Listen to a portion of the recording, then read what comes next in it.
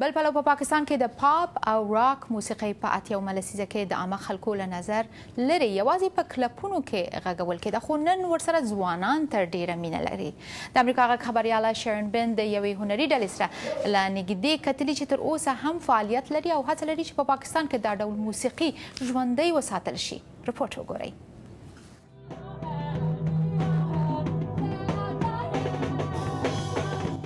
د راک ان رول موسیقي په پاکستان کې هیڅ کله لمنځه نه دتللې خو ډیره کم شوې ده د راک لایف په نامه د هنري ډلې د رام غږونکي الین سمیت وایي شل کاله مخکې دلته په لسګونه هنري ډلې موجودې وي چې د هیواد په ګډ ګډ کې په کلپونو ډیسکوګانو او محفلونو کې موسیقي غږولې هغه وایي اوس یوازې 15 ډلې فعالیت کوي Blur people went abroad ډېر خلک له پاکستان څخه بهر ته تللي او اوس نوې ډلې پاکستان ته راغلي او مفکورې یې بدلې دي.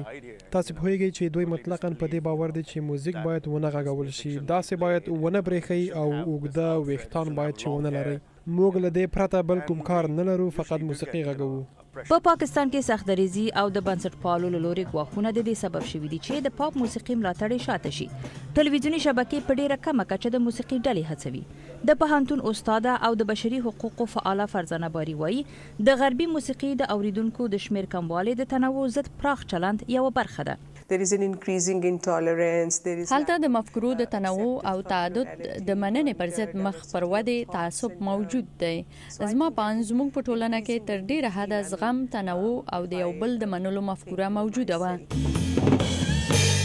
سره د دې چې په عام معذر کې موسیقي نشي غږولی بیا هم په شخصي کورونو کې سره ټولیږي او یا د دې په شان په کورونو محفلونو کې موزیک غږوي هغوی وایي موسیقي اجرا کول اوس هم په زړه پورې دي یوه اندونیزیایي ډي جي غږونکې بلقیس نتسرا چې د دې هنري ډلې غړې ده وایي د پاکستان کلتور د هغه تاوتریخوالي د انځورونو په پرتله ډیر پیاوړی او غښتلی دی چې د خبرونو سرلیکې جوړوي. هغه داسې وایي. په پای کې زه داسې احساس کوم چې پاکستان هغسې نه دی لکه چې تاسو یې په تلویزیون کې ګورئ. هغه د هنر له درکه غني دی او دا هغه څه دي چې زه یې د جګړې، شخړو او بمونو پر ځای نړۍ ته وړاندې کول غواړم.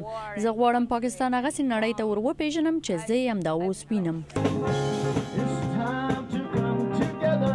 د سمیت په شان موسیقي غږونکي په مختلفو هنري ډلو کې په موسیقي غږولو سره ژوند کوي. زه خپلو هنرمندانو ته وایم چې هیله له لاسه مه ورکوئ، کېدای شي چې حالات ښه شي. نو تر هغه وخته پورې هغه وايي، پرېږده چې د ښه وخت نه خوند واخلو. رڼا دوراني غورځنګ، د امریکا غږ آشنا ټلویزیون، واشنګټن.